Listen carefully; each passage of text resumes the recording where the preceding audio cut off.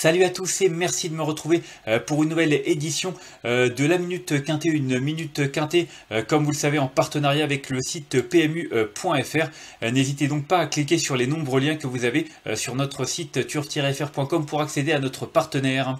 Nous on va parler du Quintet Plus de ce dimanche 3 juillet 2022 qui aura lieu sur l'hippodrome de Saint-Cloud. Ce sera la première réunion et la quatrième course du programme, le handicap des Hauts-de-Seine.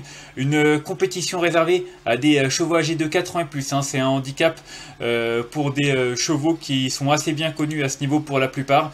Ils sont 16 au moment où je tourne cette vidéo à en découdre donc sur 2400 mètres. Le terrain devrait être assez bon et la lisse est placée à 0 mètres, ce qui va certainement favoriser les chevaux les mieux placés dans les stades de départ. On a fait le point sur les conditions, on va rentrer dans le vif du sujet avec le numéro 4 Panjaman que j'ai retenu en tête de ma sélection. Alors Panjaman, euh, c'est vraiment un concurrent qui me plaît tout particulièrement. Il a couru 4 fois cette année, il est revenu au mieux, hein. il vient de s'imposer euh, sur cette piste, c'était euh, sur 2100 mètres. C'est un concurrent qui revient souvent bien à cette période de l'année. L'an dernier d'ailleurs, il a terminé deuxième de cette épreuve. Il était pris en 38,5 de valeur, je crois. Là, il est pris en 40. Il a, après cette deuxième place, remporté son handicap. Du coup, il n'a plus été revu dans cette catégorie. Il a surtout couru dans des courses à condition.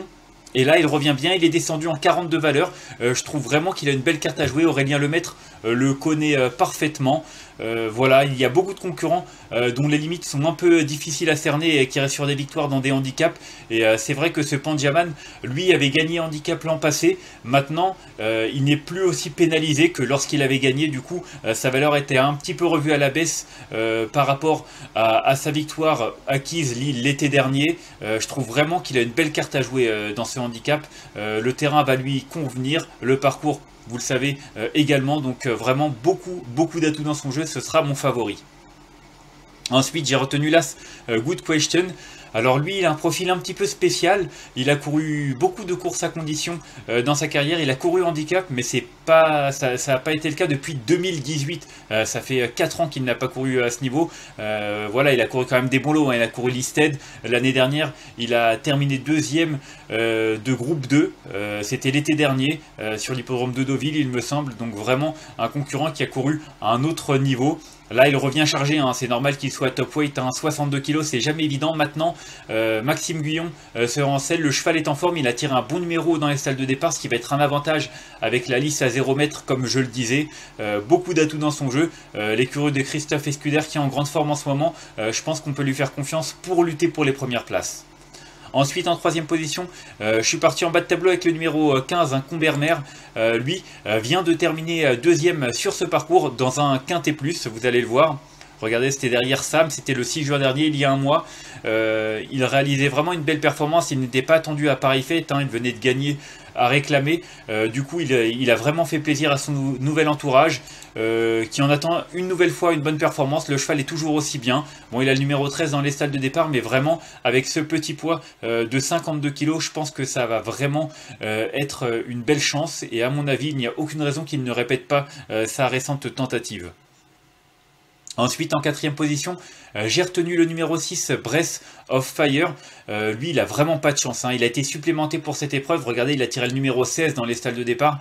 Euh, il vient de remontrer le, bout du nez. Hein. Lui, il reste sur une sixième place dans le grand handicap de Chantilly. C'était vraiment bien cette sixième place, même s'il n'a pu intégrer la bonne combinaison du PIC 5. Il a été souvent chuchoté. il, il a fini troisième l'an passé de cette compétition. Donc voilà, il a l'aptitude à ce parcours et puis la forme saisonnière aussi qui va jouer euh, son rôle. Euh, comme je vous le dis, c'est vraiment ce numéro 16 qui m'ennuie. Euh, sinon, j'aurais certainement retenu peut-être deuxième, voire même peut-être en tête. Maintenant, si son partenaire arrive à bien gérer ce numéro, je pense qu'il a vraiment une belle carte à jouer. Ensuite, en cinquième position, euh, j'ai retenu le numéro 5. Il s'agit euh, de Saham. Bah, vous le voyez, il vient de remporter une course. Euh, c'était tout simplement une des courses références, le prix du Hara de Jardy. sur ce même parcours, hein, il s'imposait vraiment à la surprise générale à 27 contre 1. C'était sa troisième course de l'année. Il a encore progressé là-dessus. En tout cas, son entraîneur Stéphane Gouillette le trouve au moins aussi bien que lors de cette victoire. Il a lui aussi un mauvais numéro de, dans les stalles, hein, le 14. Faudra composer avec. Mais mais sur sa forme, je pense qu'il est tout à fait capable de confirmer ses bonnes dispositions et, d'intégrer la bonne combinaison du quintet. Ensuite, en sixième position, j'ai retenu le numéro 2, Mikado. Euh, j'étais pas forcément très enclin à le retenir. Maintenant, euh, son entraîneur euh, le trouve en belle forme. Il n'a pas cessé de travailler. Il n'a pas été revu depuis mars. Hein. Il avait remporté un quintet plus sur ce même parcours le 24 mars. il n'a pas été revu depuis. Voilà, il fait une rentrée. Il est chargé. ça s'annonce pas forcément évident. maintenant, Hugo Beignet le connaît bien. Son entraîneur est confiant, comme je vous l'ai dit. Et puis ce numéro 6 dans les stalles de départ, ça peut jouer en sa faveur avec la lisse à zéro. donc voilà, ce sera peut-être une petite surprise, ce numéro 2 Mikado, euh, c'est pour ça que je le retiens en sixième position. Ensuite, en septième position, euh, un pensionnaire de Stéphane Vattel, euh, ce sera le numéro 8, Baratin. Stéphane Vattel n'est pas des plus confiants. maintenant, je l'aime beaucoup. La dernière fois, il a terminé dixième pour son retour à ce niveau-là. Il n'avait pas forcément la distance qu'il apprécie le plus. Hein. C'est un stayer, il est bien sur les longues distances. La dernière fois, c'était 2100 mètres. Auparavant, il avait gagné une course à condition du côté de Sonon sur 2900 mètres. Donc voilà, c'est un concurrent qui est bien plus allé sur les parcours un peu plus longs. Là, 2400 mètres, euh, ce sera un peu plus sa tasse de thé. Puis il a été baissé d'un kilo suite à sa dernière contre-performance. Euh, du coup, il est vraiment euh, dans une situation très avantageuse sur l'échelle des valeurs.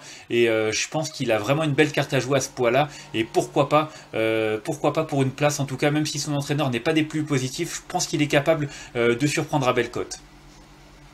Et enfin, en dernière position, en huitième choix, ce sera le numéro 3, Santazo. C'est difficile d'aller contre, mais en même temps c'est difficile aussi d'aller euh, en sa faveur. Euh, elle vient de gagner le grand handicap de Chantilly, elle a été pénalisée de 4 kilos, hein. c'est sa deuxième victoire consécutive euh, dans un handicap. elle est en 36,5, elle est désormais en 40,5 de valeur. C'est pas évident, son entraîneur la trouve toujours en aussi belle forme. Maintenant, elle a pas beaucoup couru hein, du haut de ses 7 ans. C'est une jument qui a peut-être encore des choses à montrer. Avec ce numéro 15, il faudra que ça se passe bien, mais euh, son entraîneur la trouve tellement bien qu'il n'a pas hésité à courir, euh, malgré euh, les 4 kilos de pénalisation. Alors pourquoi pas? Je me dis, pour une petite place, ça peut le faire. Donc euh, le numéro 3, j'ai retenu en 8 position. Et en cas de non partant, j'ai retenu le numéro 11, Baden Rocks. Encore un concurrent entraîné par Stéphane Vattel. Il n'est pas confiant, il fait sa rentrée. Euh, beaucoup euh, de choses en sa défaveur. Maintenant, il a numéro 5 dans les stalles et Stéphane Pasquier se rancelle. Euh, Stéphane Pasquier qui a souvent pris Calaconta et que j'aimais bien. du coup, je me dis si Stéphane Vattel fait appel à Stéphane Pasquier, même s'il n'est pas des plus confiants, pourquoi pas également pour une petite place? Ce sera un regret pour moi parce qu'il fait une rentrée. maintenant, s'il venait à s'immiscer dans la bonne combinaison, je ne serais pas surpris. Ce sera surtout pour une cinquième place, une petite surprise que je l'ai mis en regret. On va faire un petit récapitulatif euh, de cette sélection avec le 4, l'As, le 15, le 6, le 5, le 2, le 8 et le 3 et en cas euh, de non partant le numéro 11. Voilà, vous savez tout, ce sera donc la première réunion et la quatrième course du programme, le handicap des Hauts-de-Seine prévu aux alentours euh, de 15h15. Vous le savez, nous sommes en partenariat avec le site PMU.fr. Vous avez donc euh, beaucoup de liens sur le site turf-fr.com pour accéder à notre partenaire. Euh, vous pouvez créer votre compte et bénéficier jusqu'à 200 euros offerts avec un premier dépôt qui est doublé ou alors tout simplement vous connecter via notre site chez notre partenaire et bénéficier d'exclusivité. Au niveau des conseils de jeu, c'est pas évident euh, sur euh, ce quintet plus, hein, je trouve vraiment qu'il est ouvert. Mais euh, moi je partirais vraiment du 4 Panjaman et de ce Good Question qui me semble être ce qui présente le plus de garanties. Que ce soit Panjaman qui vient de prouver sa forme et qui a terminé deuxième l'an passé de cette épreuve, ou encore Good Question qui revient dans cette catégorie, qui a tiré un excellent numéro dans les stalles de départ. Donc voilà, si vous voulez faire un, I2 sur 4 avec ces deux concurrents, ou alors tout simplement partir de ces deux concurrents pour faire un, I quintet ou un I quarté, n'hésitez pas avec ce 4 et cet As qui me semble vraiment euh, posséder beaucoup de garanties. Moi je vous retrouve lundi pour un quintet plus qui aura lieu sur l'hippodrome de Clairefontaine en obstacle. Ils ne seront que 14 au départ. Euh, d'ici là, je vous souhaite de bons jeux à tous et un bon week-end. Bye bye.